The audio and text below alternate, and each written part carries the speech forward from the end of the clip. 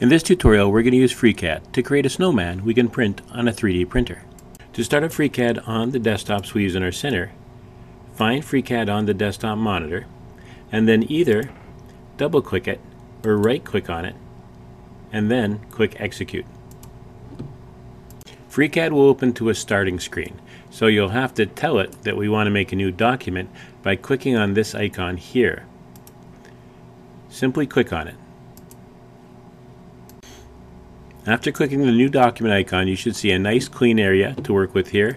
You should also see one new document tab at the bottom. If you see two, you might have opened it more than once or started more than one new document, and just ask your instructor for a little help on how to clean that up. For our next step, we're going to want to select a workbench, and that's done by clicking on this button here. So, two steps click on the button, and the second step is click on Part. That's the workbench we want. Different workbenches allow us to do different things.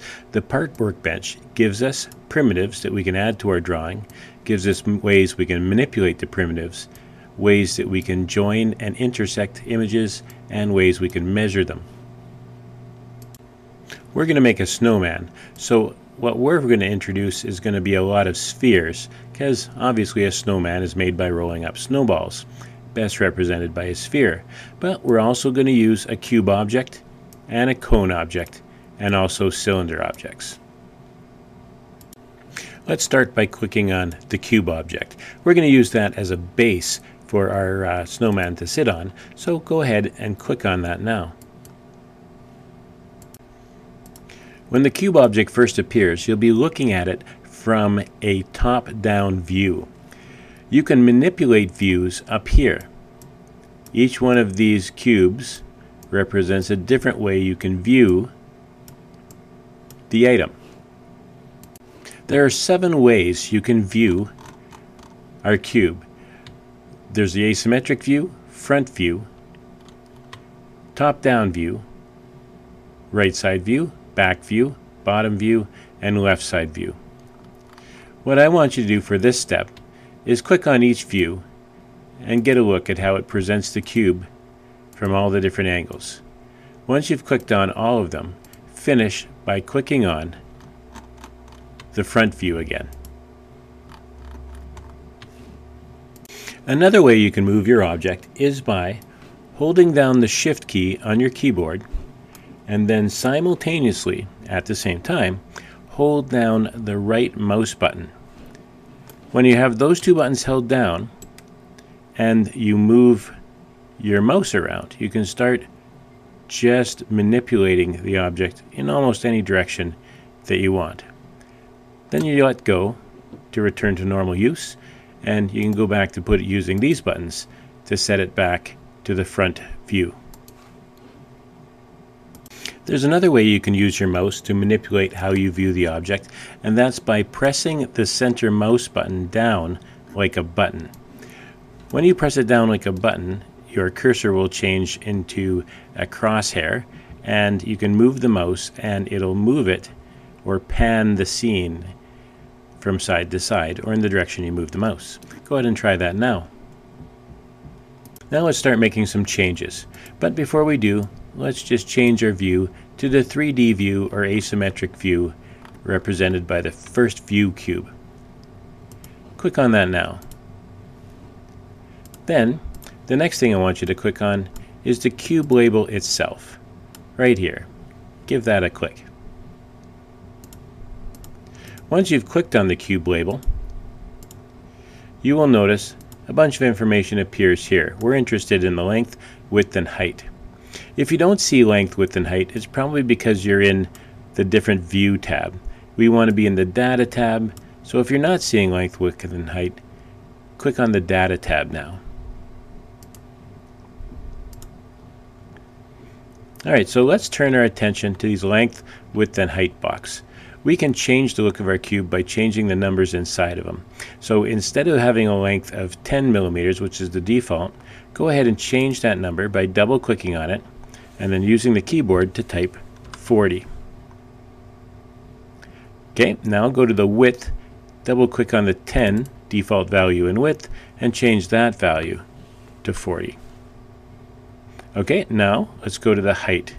Double click on the value of 10 that's in height now and change that to 3. So we should end up with a cube that's 40 wide, 40 millimeters wide, 40 millimeters long, and has a height of 3 millimeters. And there it is. Now, it, we want to center this so we can see it all in the screen. Right click on the screen. The first option that will appear will be this fit all. Click on it. And now we fit all of our object into the scene. Right clicking and saying fit all like we just did ends up with a pretty zoomed in view. So I want to talk a second about something else you can do with the mouse wheel on your mouse and that is you can simply roll your mouse wheel to either zoom in more or zoom out. And what I want you to do is zoom out so this base looks like it's a little farther away. Could you do that now?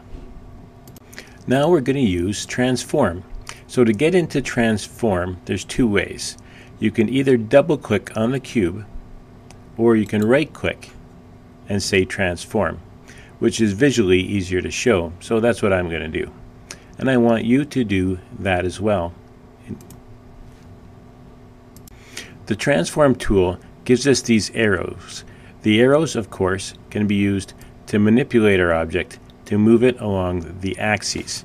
The axes are actually shown on the screen at all time in this corner. Let me zoom in on them so you have a better look. Here you can see that the z-axis goes up and down. The y-axis uh, goes back to front and the x-axis goes side to side. This all changes depending on your view. You can try to click on the different view windows up here and you will see your axis angles change here.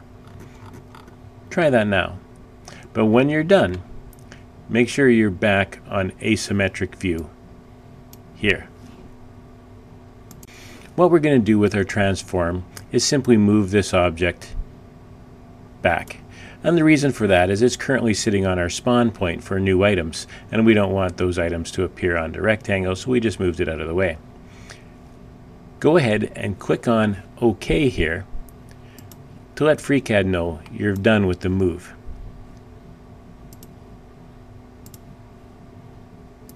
Now let's start building our snowman. The first thing we need is a sphere to be the base of our snowman, so start off by clicking on the sphere and introduce a sphere object.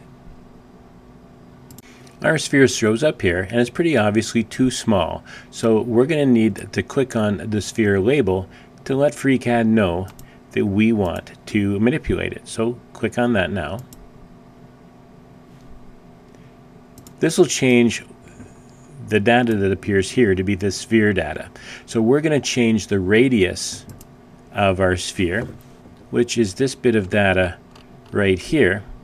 And it currently has a radius of 5 millimeters, which is about the radius of the eraser on the end of a pencil.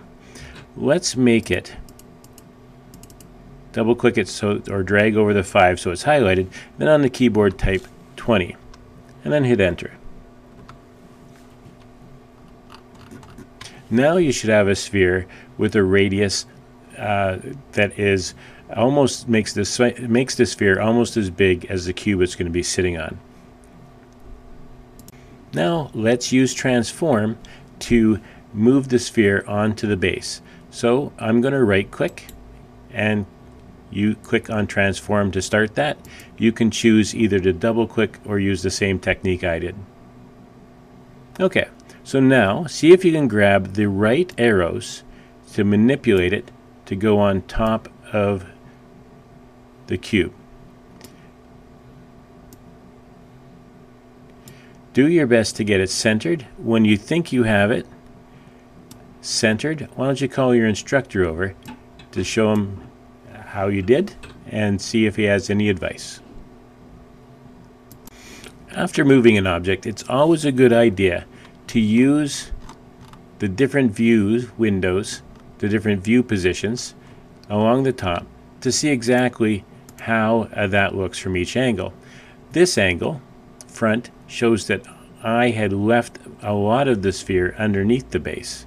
So I can use the up arrow now to correct that. Viewing it from another angle, it looks okay. From the back, it looks like it's a little bit more to this side than the other, so I can move that to center, having seen it from that angle. The bottom looks good, and this side looks good.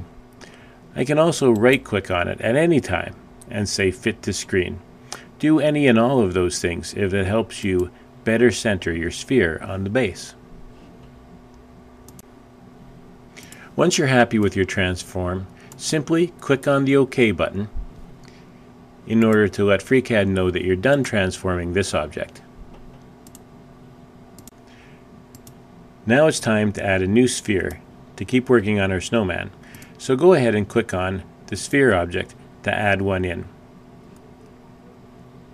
I'm going to change my view back to asymmetric view and you might have to manipulate your view as well so you get a good view of where that new sphere showed up.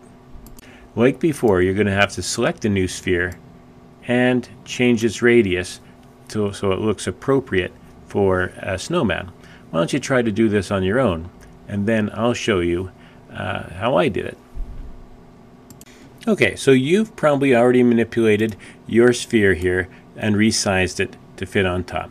I'm going to try and do the same now, and let's see if we did it even close to the same way. So first I'm going to select on Sphere 001 to let FreeCAD know that's what I want to work on, so I'll do that now. Then I'm going to go down to its radius value uh, to resize it. So it's at 5, and I remember we made the big base marble 20, so I want something less than 20. So I am just going to go with 16. And there I've got a marble that should be, or a sphere that should be smaller and look like uh, a middle section of a snowman when I put it on. Alright, so now let's move this with a transform transform. Uh, this time I'm just going to go into it by double clicking. And you can see I've got the transform arrows. The arrows point in the direction they will pull, so I want to raise this up.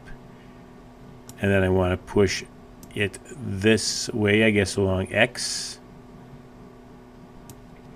And then I'll use the green arrow, which is Y, to move it on. And I can see that it starts blending in with each other um, I can now use the X to move that. And I can see I'm off center because the center line of the top sphere does not line up with the center line of the bottom sphere. So I'm going to line up those two lines. I can also see I'm too low. So I'm going to grab my arrow here and raise it up. And that looks good from one angle. But what we learned before is to use all the angles to see if it looks good from every angle. And I'm glad I did because this one looks like I'm not centered this way. I'm just going to come over a little bit there and that looks excellent. Bottom up doesn't help me much, but the rest look good. I'm going to finish with a front view. So why don't you use any and all of these techniques to center your second sphere on top of your first one. And when you're done, let's both have you finish on front view as well. Also, when you've checked all the other views and everything looks good, you can let FreeCAD know you're done transforming by clicking OK on top. What I'm going to have you do now is use your center mouse button to manipulate the scene so it's easier to work with the new object you're going to put in. So uh, press in your mouse button to move your object uh, to a side that gives you a little more room to view and roll your mouse wheel back so that you're zoomed not quite as far in. So do that now. Now let's go ahead and introduce the head object, which is a sphere again. Go ahead and click on that. And just like before, we want to transform the size of this. So to manipulate the object, we've got to have it selected. So go ahead and click on it. Then we're going to change its radius. So go ahead and find that and then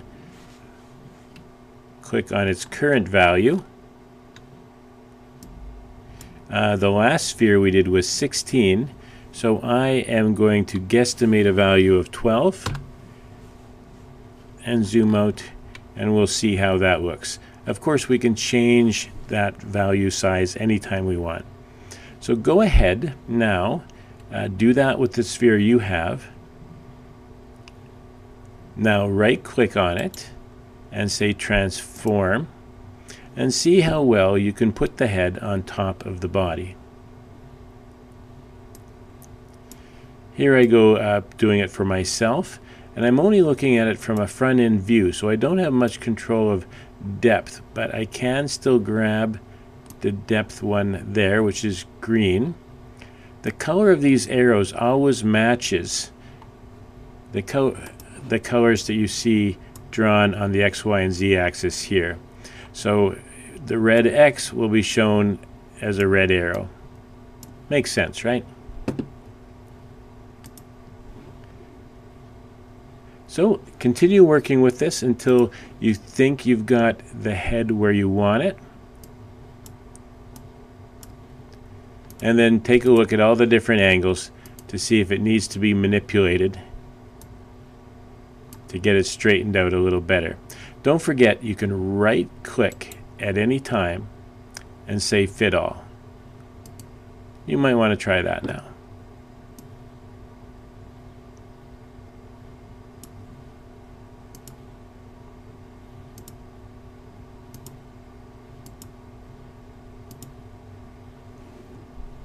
Once you have it where you wanted and it looks good from all angles, go ahead and click OK to end the transform. Let's now add the nose to our snowman. So for a nose, I think the cone is the best object. So uh, I'm going to click on it now. Why don't you click on it now as well?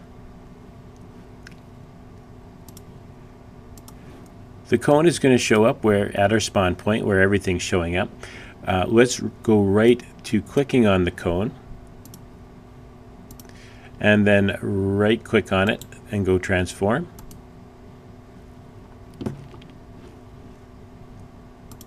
Now we can uh, manipulate it to get it into position the same way we always have, uh, but we got to do one new thing. We've got to rotate it.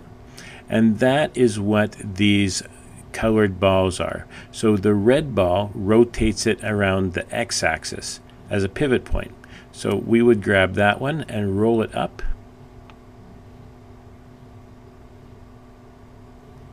No, down, it looks like, is the best way. So you want to rotate it so the smallest size, small side of the cone is facing you. You might want to change your view angle and grab the red axis because it seems to give you a little better control. So manipulate the cone in this step, you want to manipulate the cone so that it is nicely in the center of your snowman's face. So do that now. Now that you got it on your snowman's face, we want to double check our work just by quickly looking at it from the different angles. And for me, I can see that I'm not centered from my top-down view, so that helped me out you're going to find errors from different angles and just correct how it looks after you've checked it out on the various angles. Once you're happy with how it looks, go ahead and click on OK to let FreeCAD know that you're done with the transform. Now our nose looks pretty good, but it's not pointy enough to be a carrot or anything like that. So I'm going to point out that the uh, cone is a unique shape that has two different radiuses. It has it's made up of two circles connected to each other to make up the shape of a cone. Um, the pointy end of the cone, which isn't that pointy right now, is two millimeters, and the wide end of the cone is four millimeters. We can make this pointier by making this number smaller. So take the two, and we're going to make it point one zero and say enter.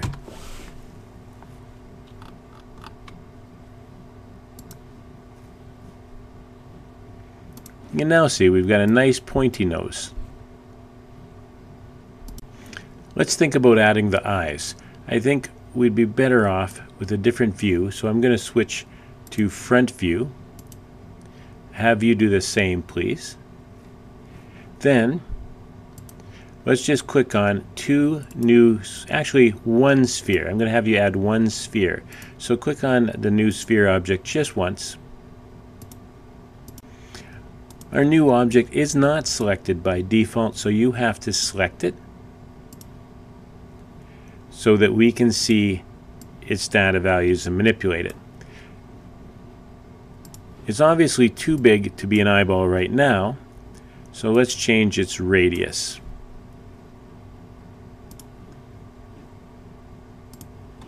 I'm going to change the radius from a 5 to just a 2.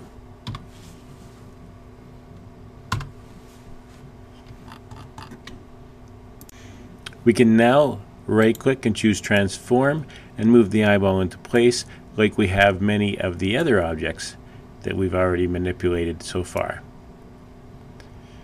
Right click and choose fit all if your arrows move out of the scene and use your different angle views to make sure that the eye has ended up where you wanted it on your snowman.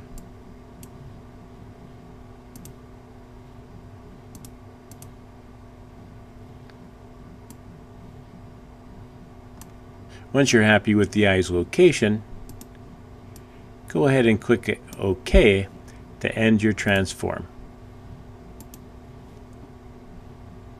If you're not happy with where your eyeball is, give your instructor a call and he can offer you a little help. If you are happy with your where it is, you can move on to the next part of this tutorial. Let's start off by making sure we're looking at this object the same way. So let's all click on the front view. Now that you've clicked on front view, uh, let's click on the eyeball sphere. So that is sphere 003, so click on that. With Sphere 003 selected, we're going to do something new using the Part menu. So find Part menu along the top and click on it. That'll give you the menu options underneath and from those find mirroring. Once you've found mirroring, click on that. Mirroring takes a selected part, in this case sphere 003, and mirrors it to the other side of a pane. Um, and what does that mean? Well, we've got an eyeball here, and we want to put it here. So which plane would this eyeball be on either side of? Well, we can figure that out over here. So since we're going to have an eye, if you imagine a little snowman right here on the center point of this, we would his eyes would be on either side of Z, and they would actually be on either side of Y too. So that will become our plane. So here's what you're going to do. You're going to click on the down arrow and select YZ as your plane because that's what the eyes, eyes are going to end up on either side of. But be prepared for a little bit of a surprise because our base point is still at 000, which is the spawn point for all our items. Um, but let's see it in action. So the next thing I'm going to have you do is just click OK and do that now. So here's what happened. You did create a mirror of this eyeball, but it ended up over here. And the reason for that, I can show you when you double click on Sphere 003. So double click on it now, and you should see that we end up showing where our mirror point is. And it's right here, which is a long way away from being in between his eyes. So we can actually uh, drag that. If you're close enough to see the green crosshairs, click on them and drag it over so that the green crosshairs are right above the nose.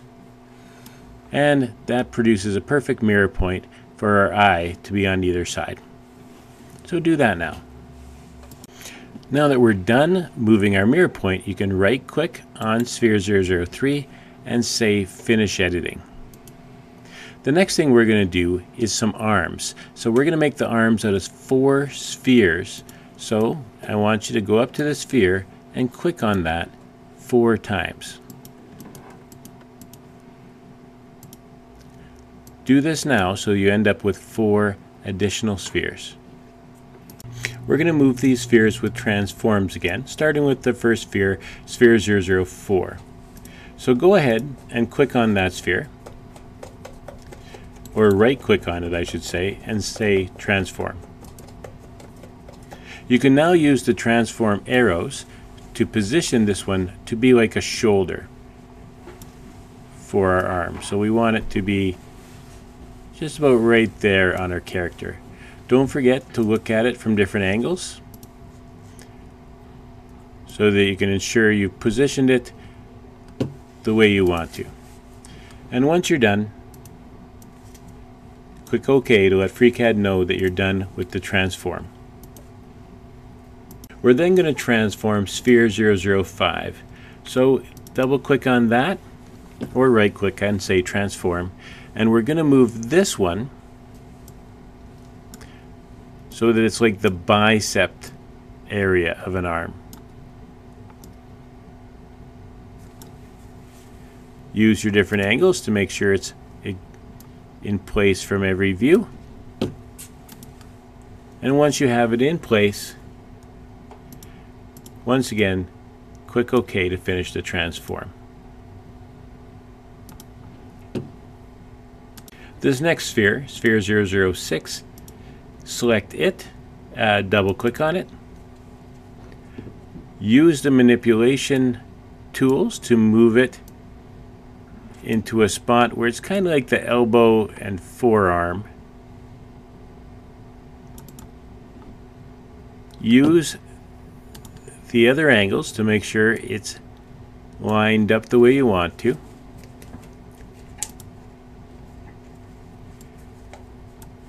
So move that into the space you want. And once it's done, click OK to finish the transform.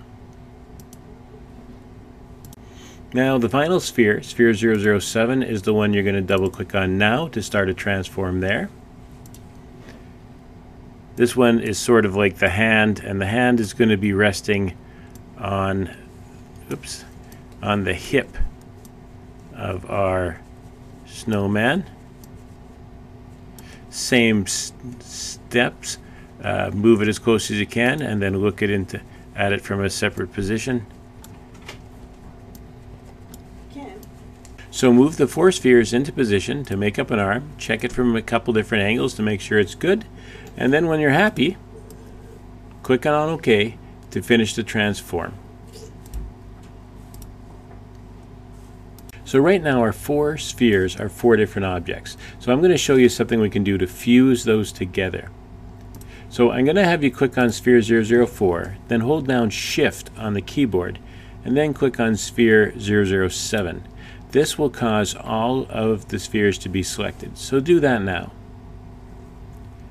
Once you've got them all green, you need to click on the fusion icon, which is this icon here.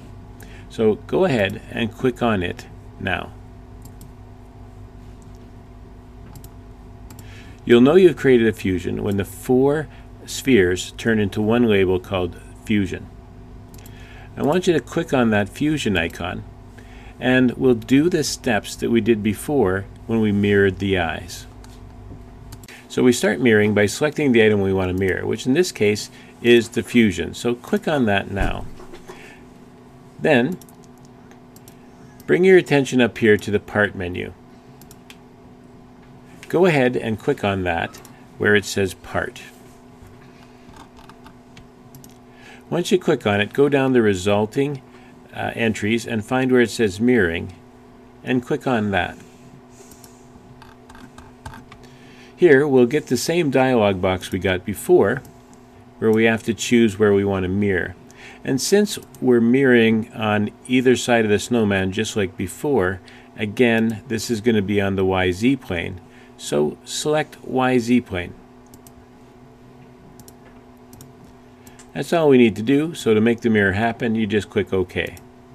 So click OK. Again, we end up with this kind of in a weird spot because the base area we're mirroring from is somewhere around here. And we can see that by double clicking on this new fusion mirror we made. So go ahead and double click on it now. By double clicking we get the mirror and we can move it into the center of the snowman's body. So that's what I want you to do now. Move the mirror into the center of the snowman's body. You can look at it straight on or at different angles just like you do other things to make sure you got the mirror where you want it to be.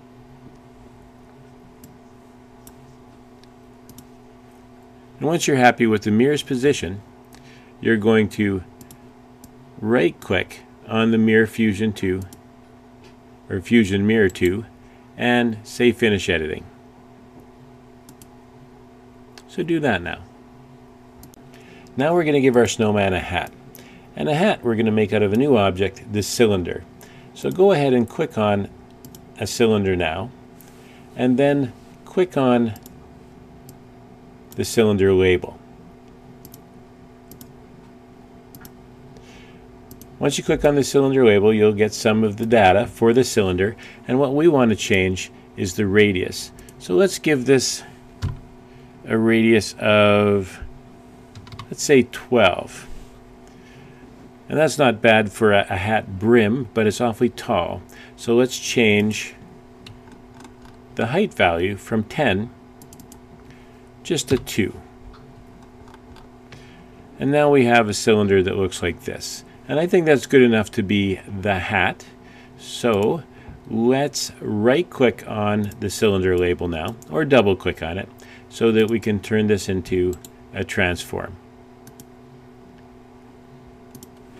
We can take the transform and put it on the top of our character's head.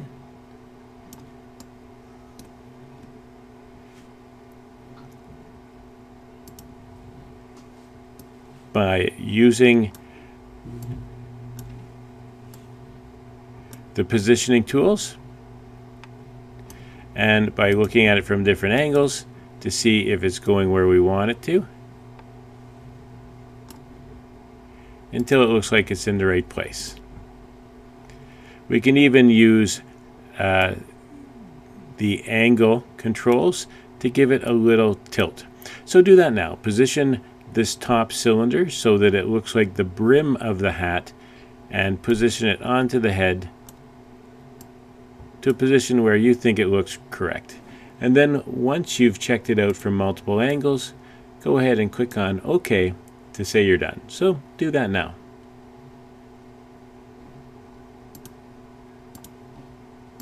We're going to make the second part of our hat from the first part. So go to the cylinder, right click on it, and this time select copy. Then right click again, and this time select paste. We can now click on the new cylinder so that it's selected. And we should be able to simply change the height, which is now currently 2. And let's make that 12. And you can see over here, we got a nice tall hat, but it's the same width as the brim. So we have to change its radius from 12 to let's say 8. And now we can actually see that it turns into a pretty good looking hat. So do those two steps now. Congratulations on completing your snowman. Before you do anything else, just watch the rest of what I have to tell you. At the end, when I'm done talking, I'm going to have you shut down this tutorial. And then I'm going to have you hit the back arrow in the lower right hand corner here and go to the basics section for our FreeCAD tutorials. In there, you will have a tutorial that'll show you how to save your files. If you're not familiar with it, you need to see this tutorial. If not, you could probably just save your files yourself. But I need you to do that tutorial if you've never uh, saved your files before or simply aren't comfortable doing that yet. All right, congratulations and remember to proceed on to that next tutorial.